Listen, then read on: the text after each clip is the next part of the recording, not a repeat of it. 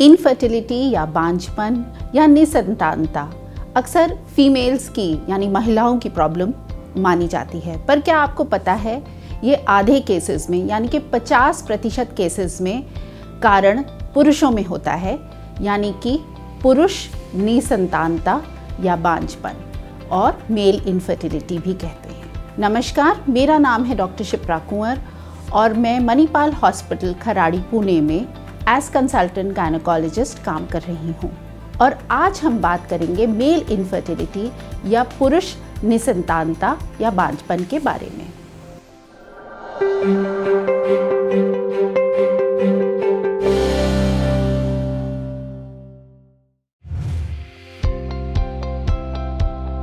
बांझपन या इनफर्टिलिटी अगर एक कपल या दंपति एक साल कोशिश करने के बाद भी प्रेगनेंसी नहीं हो अचीव कर पाते, या और उन्होंने कोई भी कॉन्ट्रसेप्शन या प्रेगनेंसी रोकने का कोई भी तरीका इस्तेमाल न किया हो तो उसको इनफर्टिलिटी कहते हैं।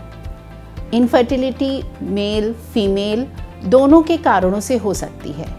अक्सर अगर हम आंकड़े देखें तो 30 प्रतिशत केसेस में ये फीमेल की वजह से होती है 30 प्रतिशत मेल की वजह से होती है 10 प्रतिशत केसेस में हम कोई भी कॉज नहीं ढूंढ पाते और इसको अनएक्सप्लेन इनफर्टिलिटी कहा जाता है। और 30 परसेंट केसेस में ये एक दोनों मेल और फीमेल दोनों में कोई ना कोई कारण मिलता है। पुरुष में बांझपन का कारण या मेल इनफर्टिलिटी के बहुत सारे कारण हो सकते हैं, लेकिन इसमें सबसे इंपॉर्टेंट जो कारण होता है वह स्पर्म काउंट यानी शुक्राणु की कमी होता है। शुक्राणु में के कमी डब्ल्यू एच ओ यानी कि वर्ल्ड हेल्थ ऑर्गेनाइजेशन के मुताबिक 15 मिलियन पर एमएल से अगर शुक्राणु कम हैं तो वो लो स्पर्म काउंट यानी शुक्राणु की कमी माना जाता है। और साथ ही में अगर शुक्राणु की गति में कमी है या शुक्राणु की बनावट में खराबी है शुक्राणु का एक आकार होता है, जिसमें कि हेड नेक और टेल पीस होता है। इनमें कहीं पे भी खराबी होने की वजह से प्रेगनेंसी नहीं होती है।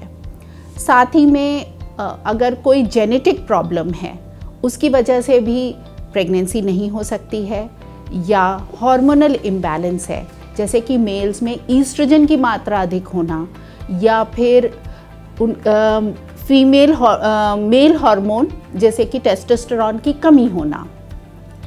साथ ही में अगर कभी टेस्टिस पे आ, या जो मेल ऑर्गन है उस पर कभी चोट लगी हो या मम्स हुआ हो तो इन पुरुषों को भी प्रेगनेंसी होने में दिक्कत आ सकती है।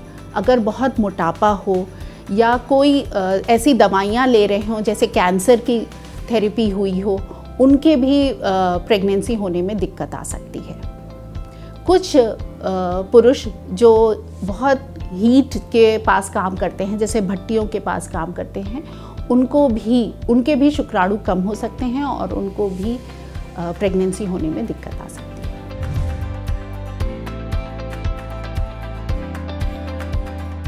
पुरुषों में कुछ लक्षण हैं जिन पे नज़र रखनी चाहिए और आपको तुरंत अपने गायनकोलॉजिस्ट से मिलना चाहिए।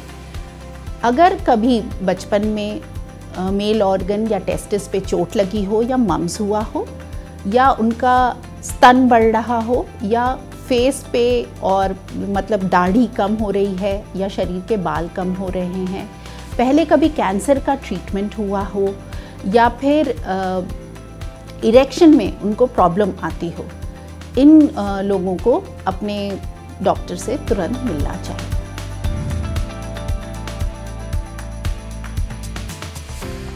मेल इनफर्टिलिटी या पुरुष बाजपन का उपचार करने के बहुत सारे तरीके होते हैं, जिनमें से कि आप दवाइयाँ दे सकते हैं या सर्जरी कर सकते हैं या आईवीएफ कर सकते हैं। तो दवाइयाँ अगर शुक्राणु बहुत की गति बहुत कम होती है या कम होते हैं तो हम एंटीऑक्सीडेंट्स या और भी दवाइयाँ दे सकते हैं। अगर मेल ऑर्गन में वैरिकोसील यानी कि वहाँ की नसें तनी हुई हैं या बहुत प्रोमिनेंट हैं तो उनकी सर्जरी भी की जा सकती है। कितना शुक्राणु कम है, उस पर हमारा आगे का उपचार डिपेंड करता है। तो सबसे पहले अगर माइल्ड कमी है शुक्राणु की, यानी कि 10 से 15 मिलियन के बीच में शुक्राणु हैं तो हम उनको आईयूआई कर सकते हैं। आईयूआई यानी कि इंट्रायूट्राइन इंसेमिनेशन इसमें पुरुष के शुक्राणु लेके और महिला के यूट्रस में डाला जाता है और इससे प्रेगनेंसी होने के चांसेस बढ़ जाते हैं। कुछ अगर शुक्राणु 10 मिलियन से भी कम हैं तो इन विट्रो फर्टिलाइजेशन यानी कि आईवीएफ की सहायता लेनी पड़ती है। और अगर शुक्राणु बहुत ही ज़्यादा कम हैं तो एक स्पेशल टाइप का आईवीएफ जिसको कि इक्सी कहा जाता है इंट्रासाइटोप्लाज्मिक स्पर्म इंजेक्शन इसमें एक ही शुक्राणु लेके वो आ, अंडे में इंजेक्ट किया जाता है और उसके बाद जो प्रेगनेंसी होती है वो मदर के अंदर यूट्रस में वापस डाली जाती है।